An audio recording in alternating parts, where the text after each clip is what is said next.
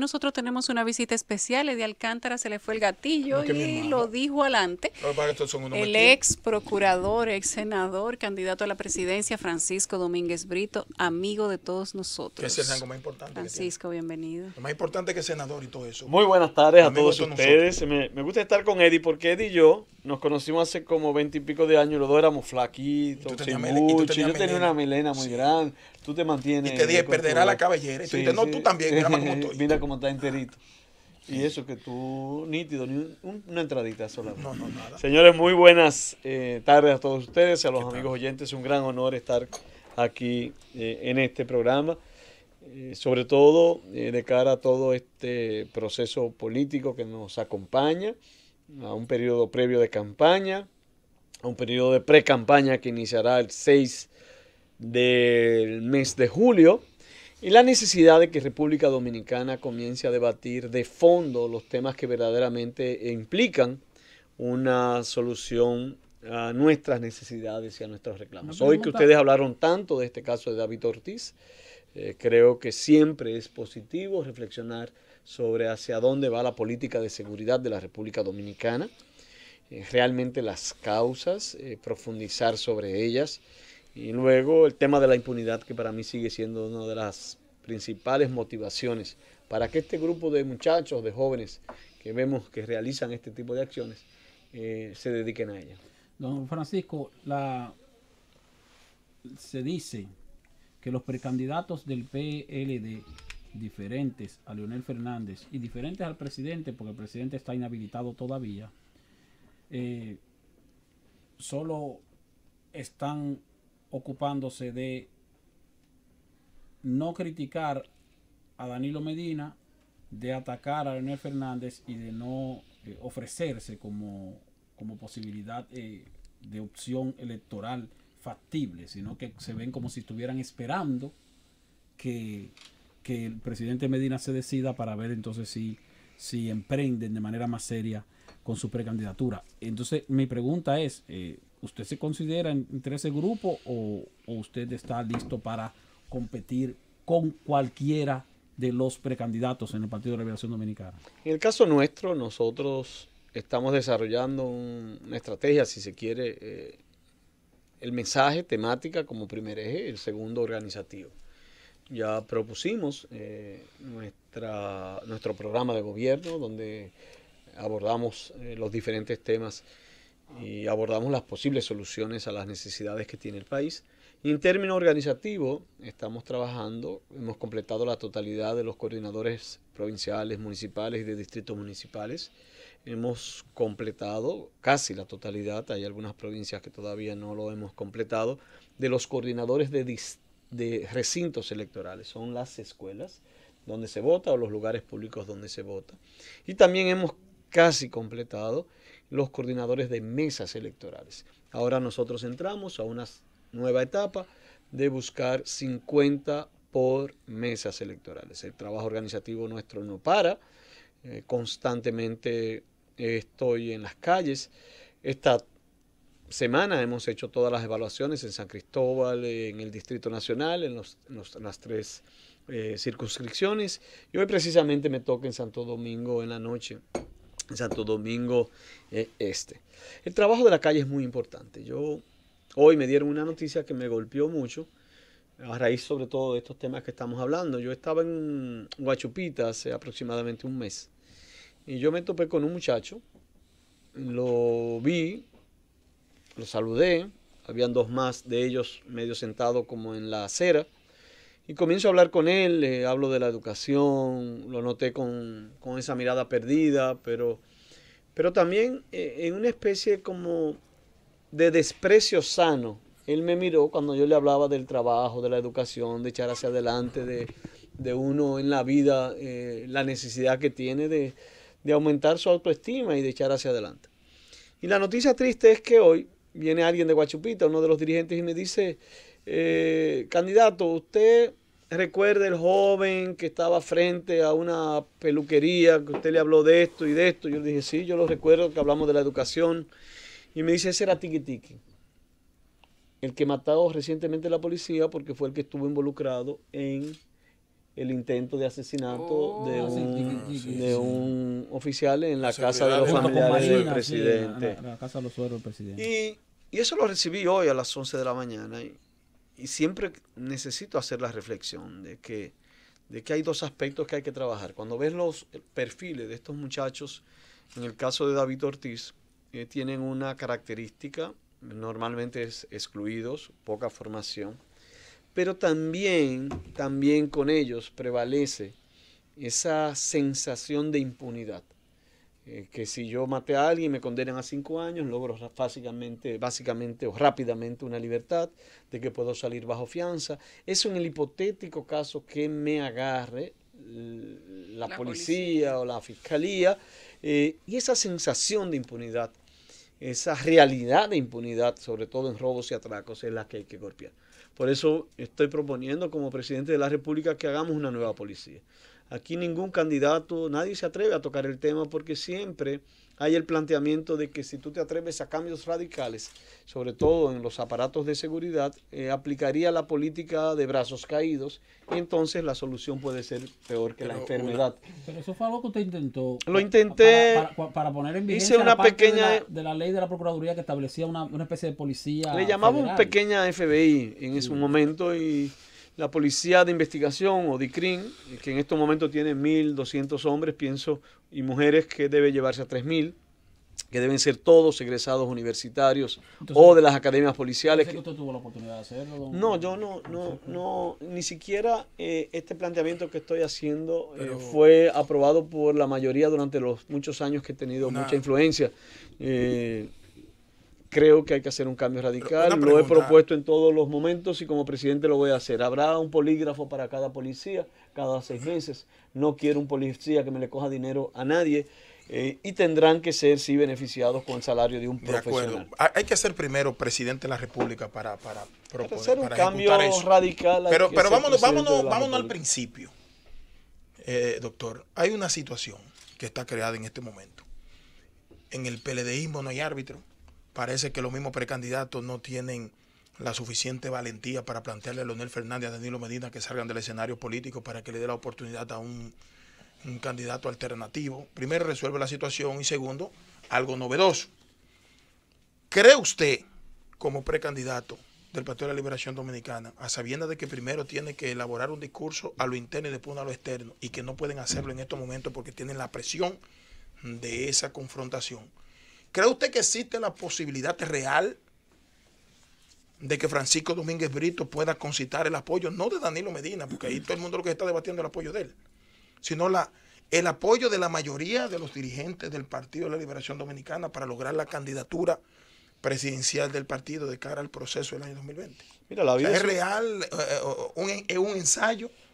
La vida es un reto y un desafío y tú tienes dos o dos opciones o dos caminos a seguir. O, uno se pone a llorar, a lamentarse, a victimizarse si tú quieres y dice, bueno, yo no puedo ser presidente porque hay dos grandes figuras, yo no tengo espacio y tú puedes comenzar a compadecerte de ti mismo. Esa es una opción que no entra en mi cabeza. Y la otra es, bueno, hay miles de dificultades, eh, pero hay que echar hacia adelante. Eh, tienes que trabajar con propuestas muy concretas para solución de problemas, tienes que hacer tus equipos de trabajo, tienes que hacerlo 10, 12 horas al día, eh, cada día, llenarte de todo el valor, de todo el coraje y simplemente hacer lo que tienes que hacer. Eso es lo que nosotros estamos haciendo. No estamos mirando hacia ningún lado. Yo dije recientemente que tengo dos orejeras, una en cada lado.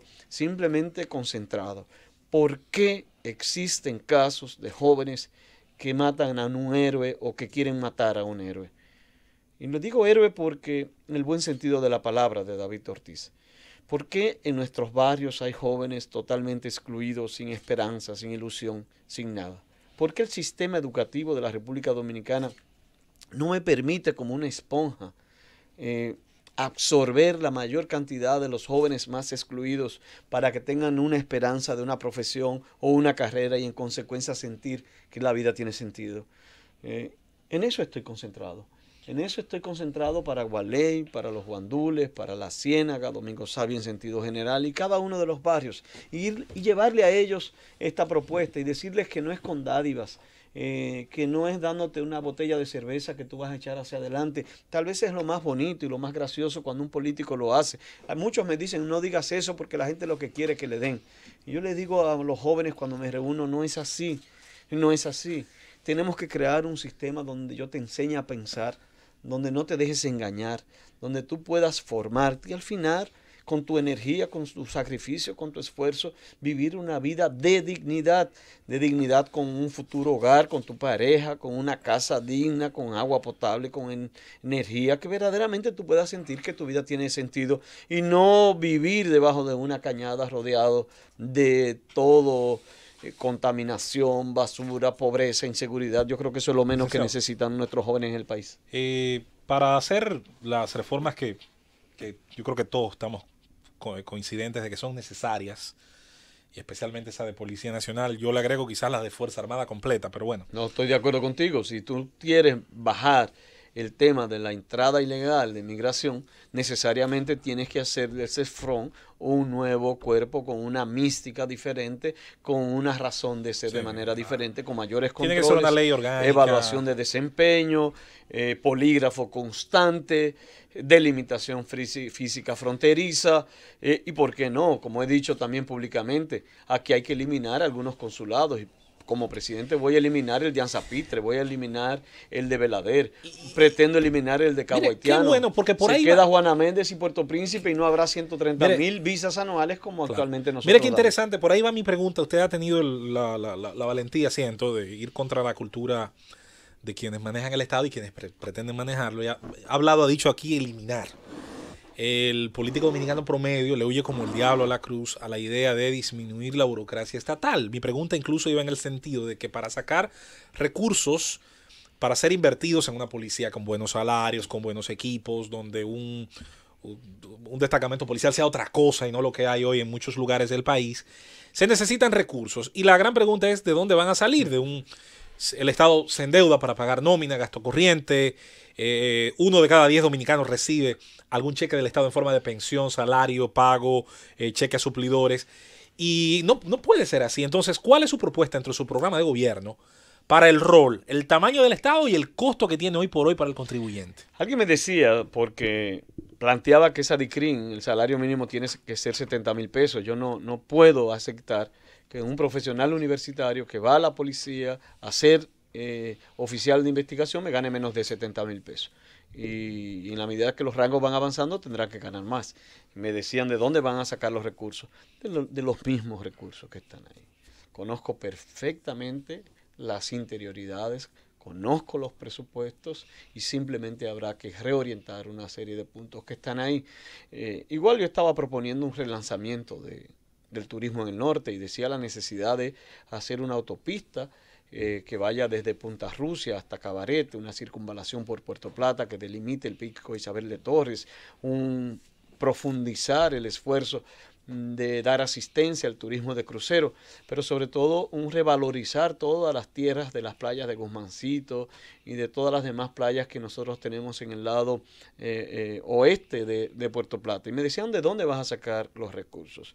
Bueno, estos años que han pasado han sido dedicados a las autopistas del este Ahora hay que hacer una de las autopistas del norte, la autopista Santiago-San Francisco de Macorís, hacer una gran zona metropolitana, hacer de esa zona una zona de comercio como es el Gran Santo Domingo, evitar el flujo migratorio que está sucediendo desde esos pueblos hacia Santo Domingo. Si ustedes analizan, Moca perdió un diputado, la provincia de Hermanas Mirabal y Salcedo ha, experimentado un decrecimiento poblacional. Como Pedernales, como la gente migra la ciudad. y estoy hablando de lugares de nivel eh, educativo alto y lugares incluso eh, de mucha riqueza de, la agricultura. No, no, estoy hablando ni siquiera de Lias Piña o de Pedernales o de algunas zonas que, es mucho más difícil la agricultura y todos esos lugares. Y eso es lo que está pasando. Y por eso he dicho, bueno, eh, para mí el, eje turístico de Cabo Rojo, en los alrededores de Bahía de las Águilas, y de dotar de al menos 5 mil habitaciones en Barahona, es vital porque también pretendo, así como se desarrolla una gran zona metropolitana de comercio, agricultura, eh, exportación en el Cibao. Igual es fundamental que en el sur comience a verse con una perspectiva diferente a la cotidianidad, al clientelismo, a los dos centavos que estamos dando y ver eso como una zona que comience un tipo de desarrollo diferenciado. Francisco, la, la, piña es dulce. no hay nada mejor que me le den piña. Ah, sí, sí, es dulce, sí. Hay una... Ah, ya no hay piña de la de antes, ¿tú recuerdas que era agria? Y uno tenía que echarle agua de sal. Pero no, ya, Hay de todas, hay de todas. si tú la coges media verde, está agria. Francisco, la, la, la situación... Está así como el PLD. Hay una situación interna en el Partido de la Liberación Dominicana que es la que tiene que ver con la posibilidad o no de que se produzca una modificación a la Constitución, que puede incluir varios aspectos, pero cuyo objetivo fundamental desde el punto de vista de los eh, danilistas en el PLD sería rehabilitar o habilitar al presidente para que pueda hacer u optar por una candidatura nuevamente. Usted, ¿cuál es su posición sobre la posibilidad de que se modifique o no nuevamente la constitución de la República? Ayer vi tantas personas, incluso que insultaron a Julio César Valentín mucho, eh, yo creo que sin razón. Pero también fruto de la especulación se dijo que, ayer se iba a reformar la constitución, que se iba a presentar el, anteproyecto de ley. Aquí hay mucha especulación. Domínguez, la prensa la convocaron ellos. No llegó ahí de forma espontánea. Mm, fue por un rumor que, además de eso usted sabe, Además usted sabe que, que una persona enterada que cuando subieron los diputados del leonelismo y los senadores ahí arriba encontrarse con los César Valentín, a cualquiera ponían a recular. Yo pienso, él aclaró muy. Lo que te quiero decir con esto, tú evalúas las cosas por los hechos, si ocurren o no ocurren, y lo compara con las palabras y con las opiniones, y a partir de ahí tú sacas una serie de deducciones. Eh, lo que he visto que hay muchas especulaciones, aquí no está el ambiente claro para tú estar emitiendo algunas opiniones que no tengas más tarde que tragártelas. Eh, por eso yo prefiero esperar. Eh, esperar y, no distraernos con eso.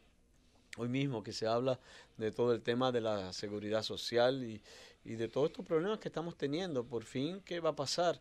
Eh, ¿Qué va a pasar con los pensionados que hoy no se está discutiendo si van a tener seguro médico? Ustedes saben que si son empleados, los empleados de la Z que están aquí, dentro de 10 o 15 años, si están en régimen contributivo, van a tener muy poco dinero como pensión es muy triste que muchas AFP ganan. No, vuelvo otra vez, yo vuelvo, yo vuelvo de nuevo. preguntado sobre el tema. Yo vuelvo. el trabajador, yo lo entro otra vez ahora. El, trabajador tendrá cuando finalice su etapa útil, sus fuerzas, sus energías, una pensión muy bajita y tendrá una ausencia de de seguro médico. Cuando yo estoy más viejo, más problemas de salud tengo. Tú estás haciendo eh, eh, que nos deprimamos y cambiemos la entrevista. Decisión ahora, 10, 15 años antes de que ocurra el problema, hay que tomarla ahora. Me preguntas de nuevo sobre la reelección. Creo que no hay nada definido. Creo que cualquier opinión es especulativa. Y creo que los candidatos deberíamos centrarnos en buscar soluciones a la gente al transporte, al costo de la vida, al empleo. Una pregunta, respuesta corta, a propósito de eso, porque ya, bueno, usted no quiere como meterse no, yo puedo opinar. Eh, si eventualmente el presidente Danilo Medina fuera habilitado y se presentara como, como precandidato, ¿usted como quiera participaría en las primarias para competir, ya sea con Danilo Medina o con Leonel Fernández? ¿O no o se retiraría tal vez viendo... Esa pregunta me la hace mucho incluso el equipo. Nosotros sostuvimos todo el equipo, los coordinadores provinciales, el equipo organizativo, eh, todo el equipo de actividades, el, núcleo también duro del equipo de campaña. Y alguien se paró y me dijo, ¿qué vamos a hacer si sucede eso? Y yo le dije, no, aquí no hay plan B. Aquí uno no tiene ni que pensar ni no pensar si eso va a pasar o no va a pasar. Eso cuando llegue, si llega, lo discutimos. Mientras tanto, eh, esos no son elementos que nosotros debemos tomar en cuenta en este ejercicio. y, y, parece evasivo, pero no lo es. Parece evasivo, pero no lo es. No, no, no, no, no, no, porque lo que yo le estoy diciendo no es aquí a la prensa. Mi respuesta fue la que yo di en, tu equipo. en mi equipo a lo interno y hoy lo estoy exteriorizando público. Pero a su equipo a lo interno usted no le respondió entonces. Así mismo le dije, no, le dije, y lo digo con mucha conciencia de lo que estoy diciendo. ni ustedes, ni yo puede en este momento concentrarse en planes B. Déjeme hacerle. Aquí no hay plan B, es un plan A, que es ganar las elecciones el 6 de octubre, que son las primarias internas del Partido Déjeme hacerle esta pregunta, porque veo que usted habla de que cuando se trató el tema de Valentín, coincidencialmente que no había sesión en el Senado ayer, Valentín fue a la hora y al lugar convocado para que la prensa asistiera y posteriormente dijo Yo quiero darle un abrazo aquí que no iba, hermano. Que no iba, que no iba a eso, que no iba a eso. Pero estaba en el lugar que estaba en el lugar donde se convocó la prensa. Volvió a hablar normal. Se daría cuenta que para mandar el proyecto con ese lío que hizo el maíz, tiene que mandarlo con un mensajero, con un, con un disfraz de, de, una de las telefónicas para que crean que va a llevar algún tipo de factura, para, para que la puedan introducir. tú conoces muy bien el Congreso, eso no funciona así. Tú ahora, vas a someter un proyecto, tú mismo convocas. ¿Usted quiere que le diga una cosa? ¿Usted quiere que le diga una cosa? Eso no se hace oculto. ¿Usted quiere que le diga una cosa? Mire, le voy a decir esto y no lo dije ayer. La secretaria encargada de recibir los anteproyectos. No fue a comer porque le dijeron que iban a depositar un proyecto. Y yo le digo el nombre. Y usted me dirá, bueno, no es ella. O estaré equivocado porque yo sé de quién se trata. La prensa se convocó para una hora y se dilató la presencia de alguien que no tenía necesariamente que estar ahí. Porque no había sección. No había sesión. Y yo puedo, yo puedo confirmar de que la, esa secretaria se le dijo, que no y no salió a almorzar en la hora exacta. Ahora, yo le voy a hacer esta pregunta, esta pregunta. El día que ellos lo vayan a hacer, esta pregunta, no vaya a hacer, lo va a hacer no, no, con que lo la frente en alta que lo manden con, la dignidad. Yo pienso lo mismo, que eso se hace a la clara. Y eso se hace directamente. Miren, no, subieron en, Pero la pregunta, Eddie, porque tú no, no hay por qué bajar la cabeza ante nada. La pregunta. Ahora, Esteban, en una reunión que hizo el presidente de la República, para complacer a Esteban con, con hacerle la pregunta, que se reunieron los precandidatos. Sí, tremendo. Que se reunieron los precandidatos. Yo creo que usted estaba ahí. Sí, yo estaba ahí. ¿Qué le dijo para que el país sepa? Porque se especularon. Uno dijo una cosa, uno dijo, él dijo que me iba a apoyar a mí. El otro dijo, a mí también. El otro dijo, no, él no dijo. Ah, se reunió con los precandidatos. Con los precandidatos a la presidencia. ¿Qué le dijo Danilo Medina a ustedes? Que a partir de ahí salieron toditos a, a caminar el país. No, no. Esa reunión fue básicamente para tratar el tema de las reservas. Estamos hablando de la de la CDE, ¿verdad? No, no, no, no, no, no. Ahí, ahí, en la CDE era un asunto de cómputo, de, de contabilidad. Me faltan tanto, me faltan para los Ahí no fue. ah, pues fue en otro sitio. Hablando. se refiere con se reunió con los precandidatos? Con los precandidatos en Palacio. nuestra fue para defender la democracia, la participación, de que no haya reservas, de que ya hemos cometido errores anteriormente en ese sentido, de que el partido necesita que los jóvenes puedan tener acceso a puestos selectivos. Y creo que el presidente Medina tuvo una posición muy clara, que apoyo 100% de que el PLD solo debe guardar algunas reservas si son con alianzas. de lo contrario, que todos vayamos a No lo, largue más para preguntarle algo, no dé tiempo a preguntarle algo. Eh, vuelvo a sus propuestas, porque al final estamos hablando de Francisco Domínguez Brito como marca política y que está intentando ofrecer su, visión a los electores.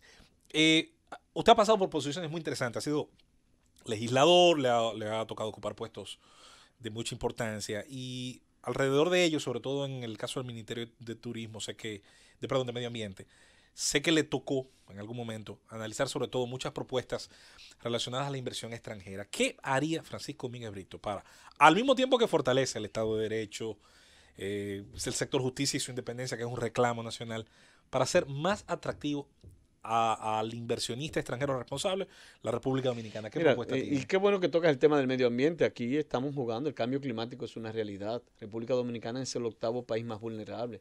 El tema de las áreas protegidas tiene, es vital su protección en todo el sentido de la palabra.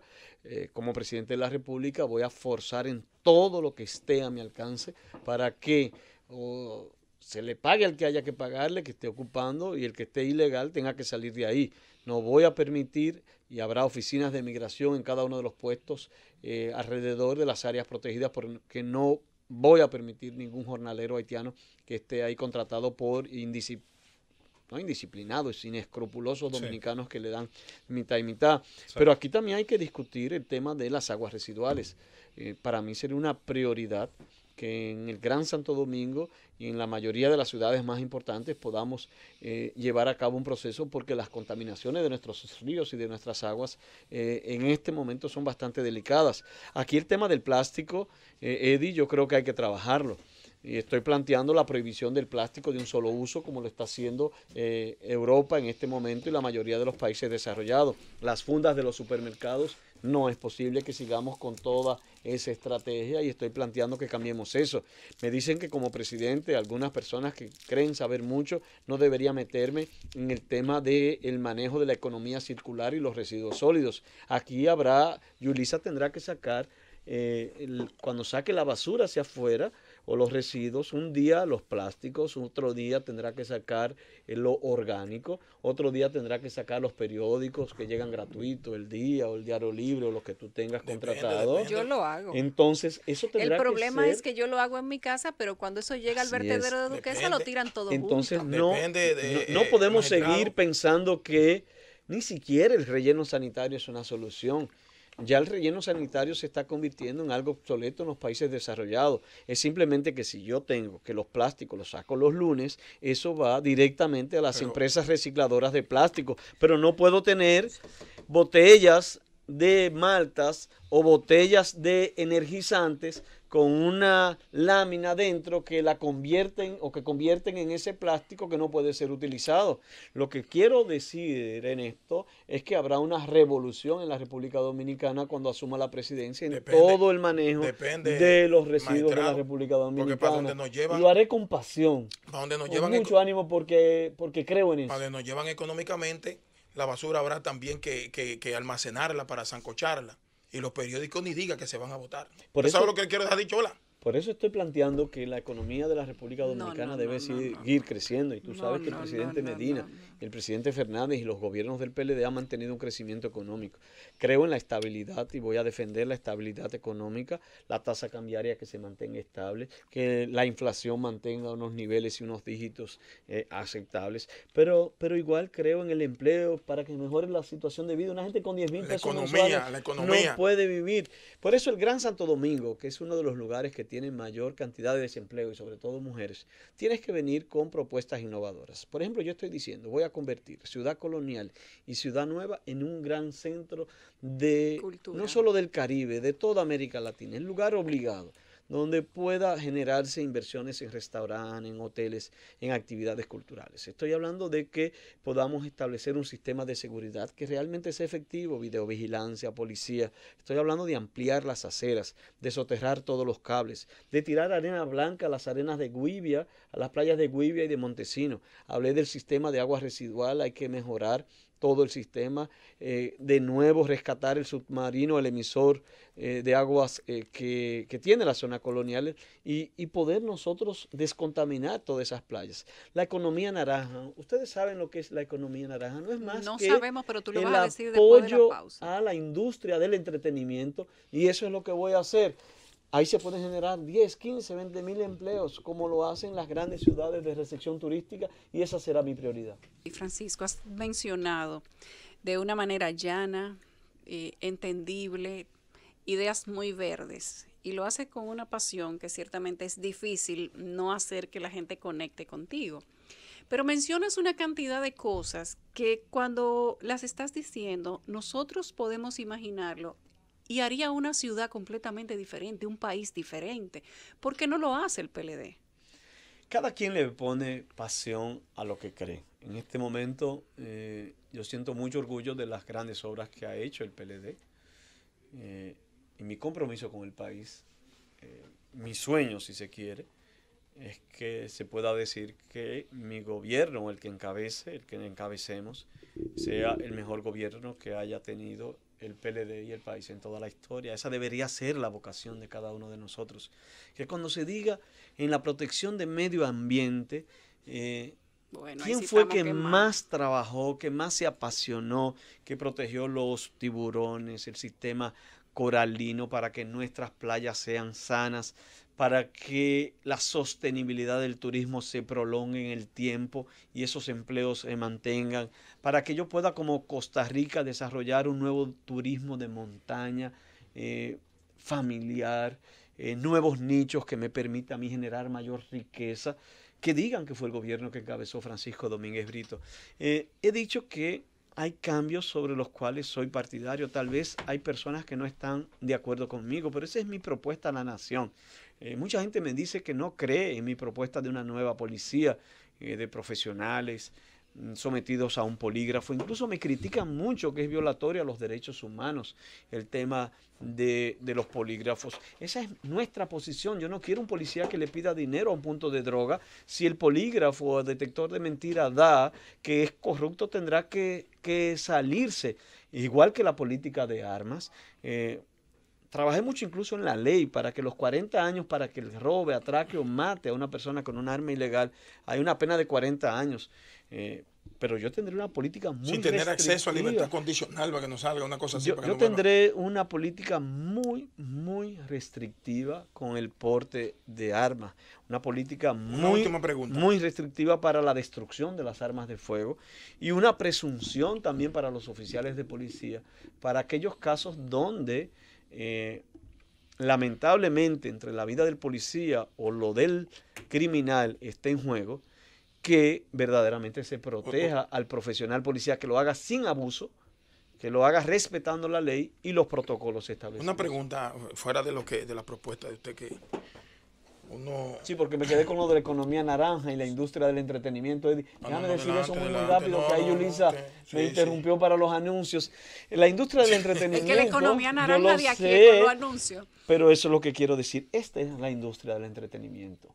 Eh, es la televisión, es el cine, pero es el teatro, es eh, las artes, es todo.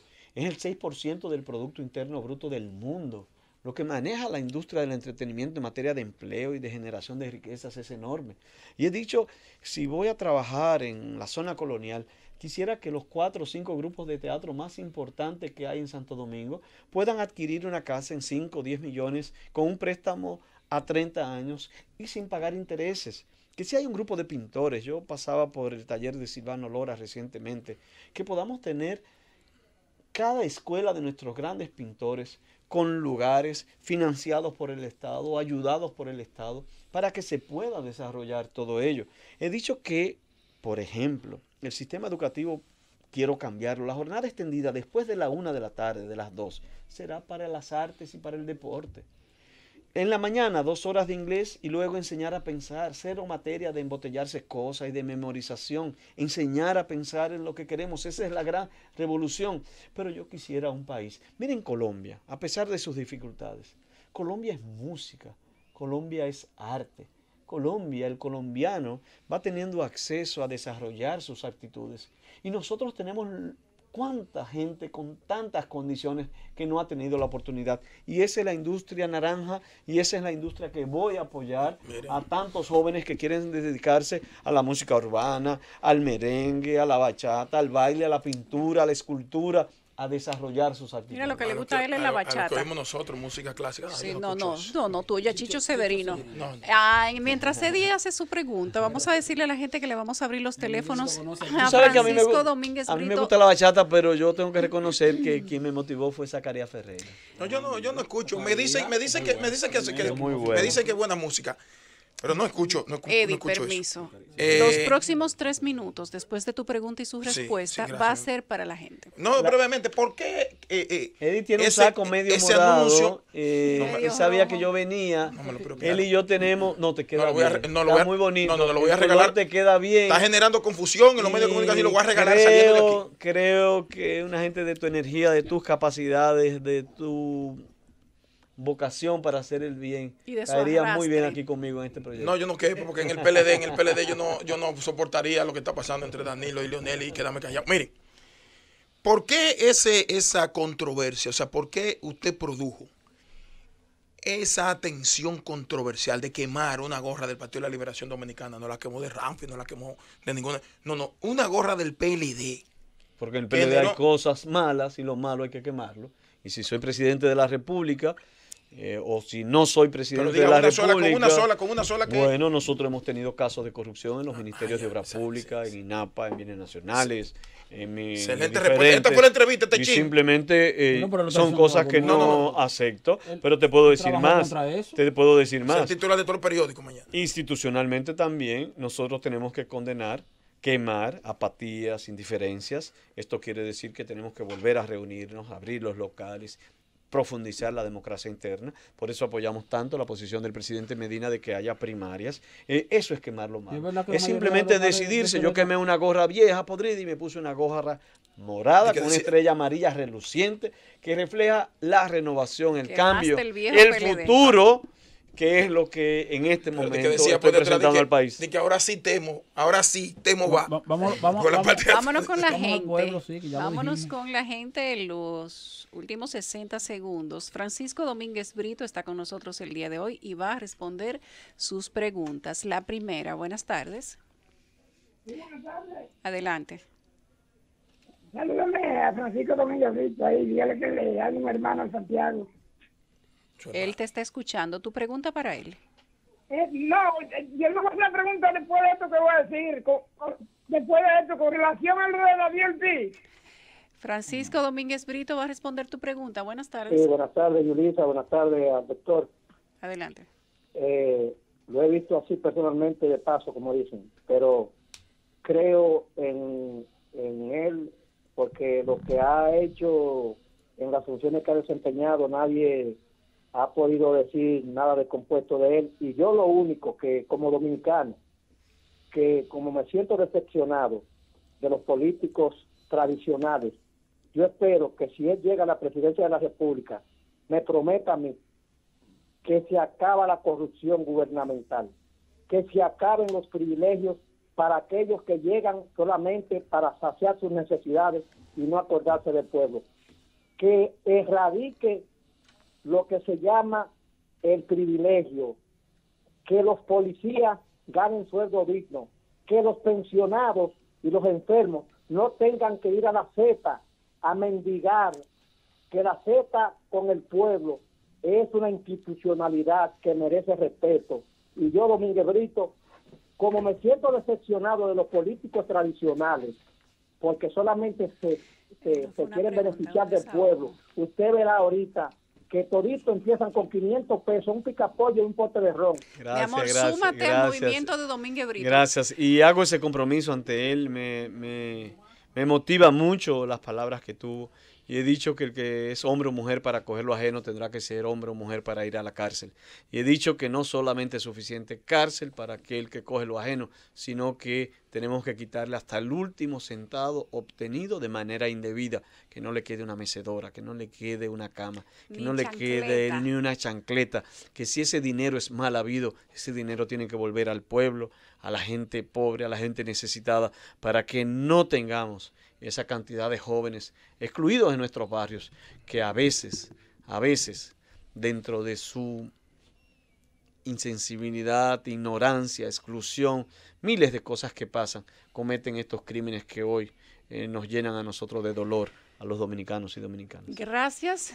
Francisco Domínguez Brito por haber venido a la Z101. Esperamos saber de ti pronto, independientemente de que se maten Leonel y Danilo, de que vayan a una primaria y todo quede bien, de que se den la mano, de que se queme el PLD, no importa. Queremos saber de ti un poco más adelante cuando vas, avance más. Gracias de verdad.